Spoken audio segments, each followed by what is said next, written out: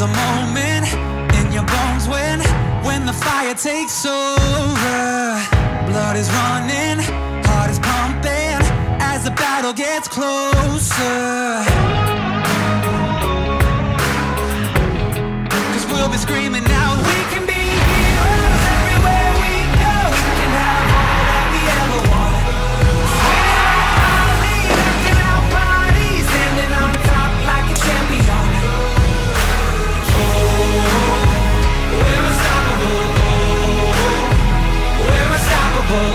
Momentum. TCU Athletics is flush with it. This year saw programs rise from new beginnings, etch their names in history, defend their stature against an entire nation, and continue to build on traditions of excellence.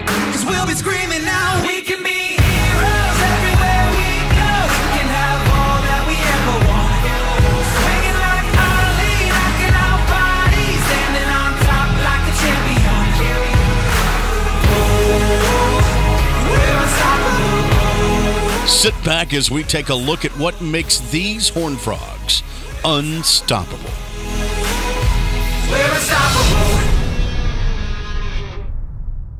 The 2016 2017 season would be full of surprises for many of TCU's teams. Some didn't know what to expect, but were filled with hope and anticipation, while others began somewhere they'd been eyeing for a long time. The 2017 season started off in a big way for TCU baseball, confidently earning the number one spot in the country, a first for the program. The team knew their new status carried a serious weight because, along with its stature, came the ire of every other team in the nation. If this baseball team knows anything, though, it's how to work hard and fight for what they've earned. Merrill rips one to right center field. This game is going to end in the bottom of the 15th inning. Back, foiled, still going back. He looks up. It is gone.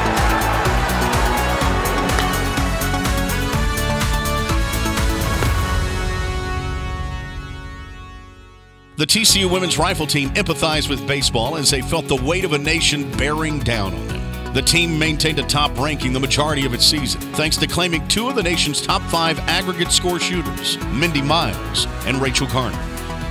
Once in postseason, the team finally grabbed the elusive number one spot. Also in the postseason, the TCU women's cross country team found itself ranked seventh in the final South Central regional rankings, the best ranking received by the Frogs since joining the Big 12.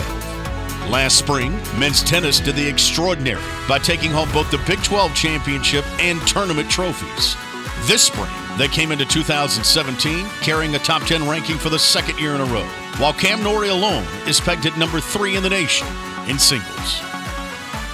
Then, for the ninth time in the past 11 seasons, TCU football found themselves in the top of the AP poll, taking the 13th spot. 2016 would prove a challenge for the Horned Frogs, but it undoubtedly came with its highlights. Fake it to him, throw it right, picked off, intercepted by the Frogs. A pick six hit off with this drive. The team tore through the Bears in Waco, delivering a 62 to 22 beating thanks to Kyle Hicks's five touchdowns and a solid offensive line.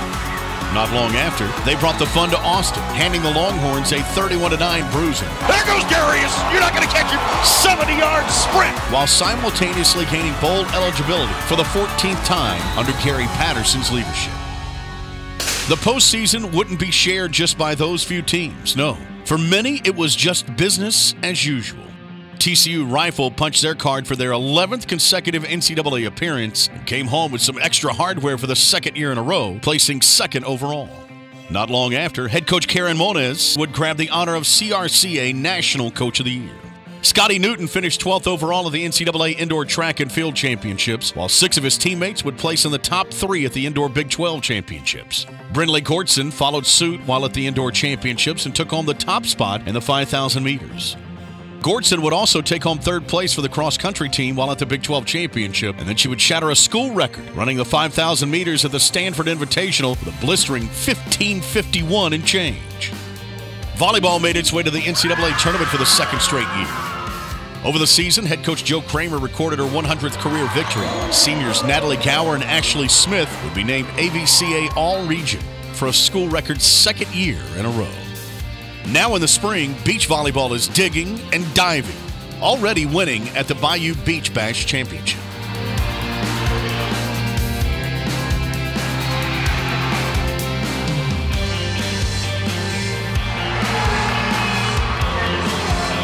Speaking of school records, the swimming and diving team broke five of them while at the Big 12 championship. Yes, five of them. The team garnered new times in the women's 400 and 200 yard medleys, women's 100 yard backstroke, the women's 100 yard breaststroke, and the men's 200 yard freestyle. All of this while posting 16 individual NCAA B cuts. Along the same lines, history was made by the TCU women's soccer team in 2016.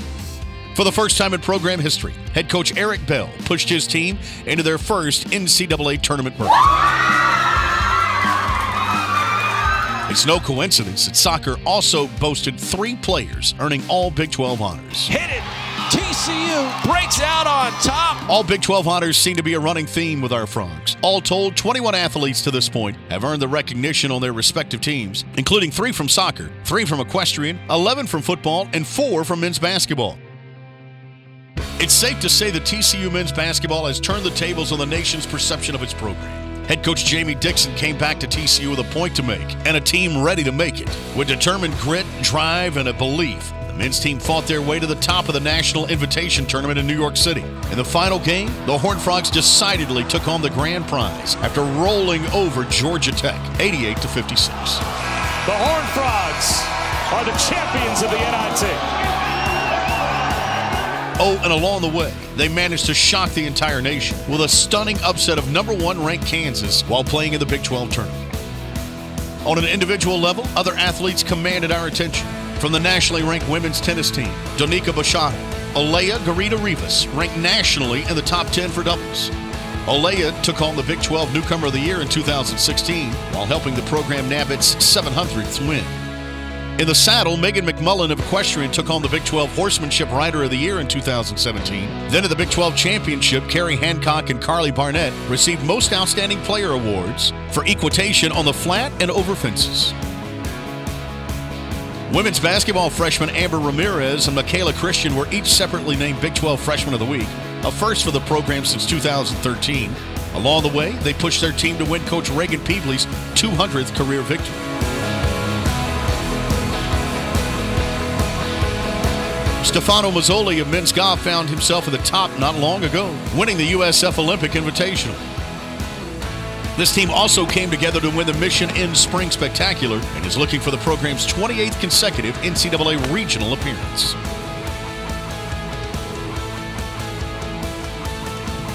Not to be outdone, Emmy Martin of women's golf is on pace to break the TCU single season record for stroke average, while the rest of the team has notched five top five finishes in the season so far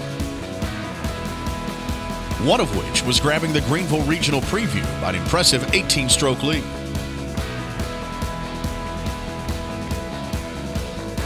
Rounding out the individuals, we finish where we started TCU baseball. While helping the team keep their ranking, pitcher Jared Janczak was named a Collegiate Baseball National Player of the Week after tossing eight no hit innings in a March 18 win over Kansas. Within TCU athletics, all the rankings, the records, the championship, and achievement are great. But what truly separates the Frogs from the rest is their commitment to not only push themselves on the field, but off of it as well. Mindy Miles of women's rifle was honored with the NCAA Sportsmanship Award after self reporting her own misfire in the 2016 NCAA Championships. And football's Caylin Moore received the distinguished honor of being named a 2017 Rhodes Scholar, one of only 32 individuals nationwide. It's, it's just a it's a humbling honor. I'm just so humbled to be in this position, be at this school, and just be a Rhodes Scholar. So I'm just very thankful. To date, across our entire group of student athletes, 90 have been named to their respective academic All Big 12 teams, with more sure to come as the spring turns to summer.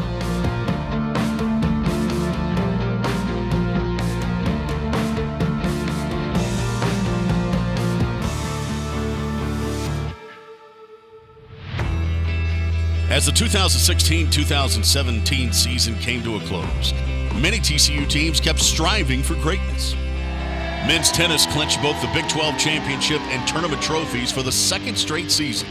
One of their own, Cam Norrie, became the first player in program history to finish the season with a number one national ranking. In baseball, they took another trip to Nebraska. Strike three call. Ball game over. Another summer. It was the team's fourth consecutive College World Series appearance and one of the most memorable. The Frogs grit showed as they persevered through three hard-fought wins in Omaha, but would ultimately head home early.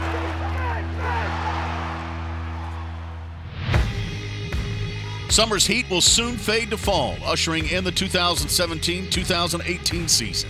With it comes the opportunity for continued excellence. These Horned Frogs recognize that, and through their hard work, determination, and a belief in each other, TCU Athletics will continue to step forward, leaving onlookers gasping in awe. In a word, unstoppable.